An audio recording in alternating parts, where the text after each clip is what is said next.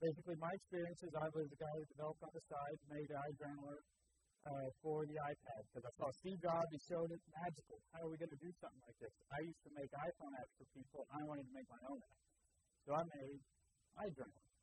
We released it. we, released it on launch day. Worked really hard to get out. Uh, got out there. We'd always made things for other people. We weren't how this would sell. Uh, we sold it for first month. We sold it for two dollars a pop. We sold 1,400 of them. We couldn't believe it. Uh, everybody else raised their price. We raised ours. Now we sold 6,000. So how did we get there? Well, we got the we we see Steve Jobs. He shows us an iPad. We've never had an iPad. Nobody's had an iPad. So we go off the simulator. We think, is this just do we get real complicated? Do we make it more like an iPhone? So we made our decision. Simple. We're going to make it what we don't think other people do, natural, not new age and all that other kind of technical. We wanted natural. And we wanted to, since it's never been easy to get help on an iPhone, we wanted to make it obvious what our app was doing. So, first version came out.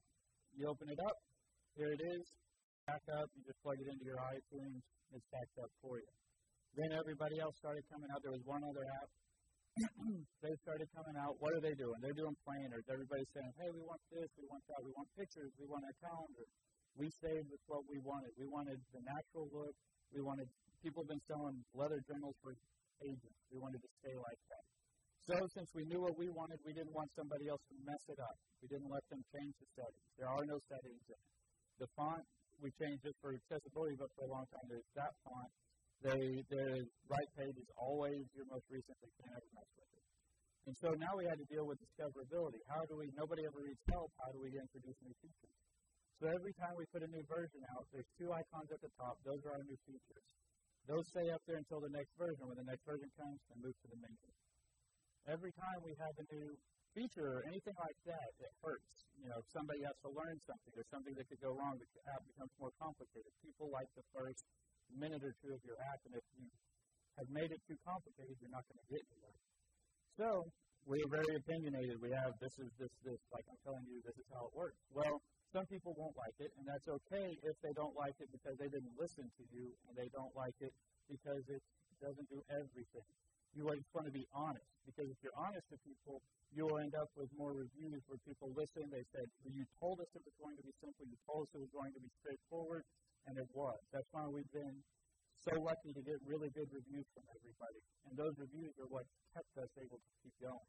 We set up a Facebook site it was able to keep us where we get now we've got like 100 followers, which we just think is cool because people follow an app.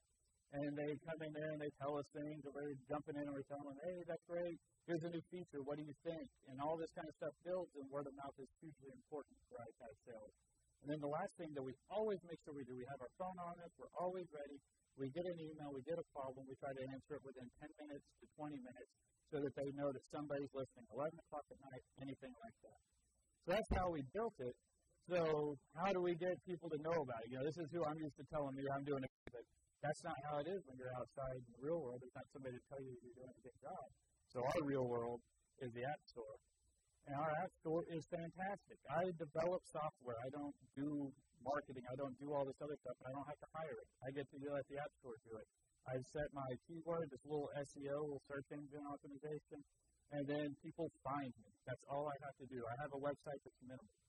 Then we have to make sure the screenshots are important. Incredibly, the first thing you do is you go and look at your screenshots. So we always wanted to make sure that our screenshots represented our product and looked great. So that was on the designer. The next part's on the programmer. You know, people are then going to come back and say, I like the app, I don't like the app, it didn't do what I wanted to do, it broke, it failed, all those types of things. If you do those two things right, you get people making decisions and buying. And here's our first month to show it. We, when we ranked high in searches, we shot way up, and when we started asking for ratings, and people started giving us good ratings back, we doubled or almost tripled how many sales we were making in a day. And so that's been kind of the way things gone. I just designed, this is my developer or designer. I just developed designer Nate Ferguson. He's not here, but he's been great. He did this for three or four weeks, so I want to hawk him. And he was fantastic. If anybody gets a chance to go see him, thank you.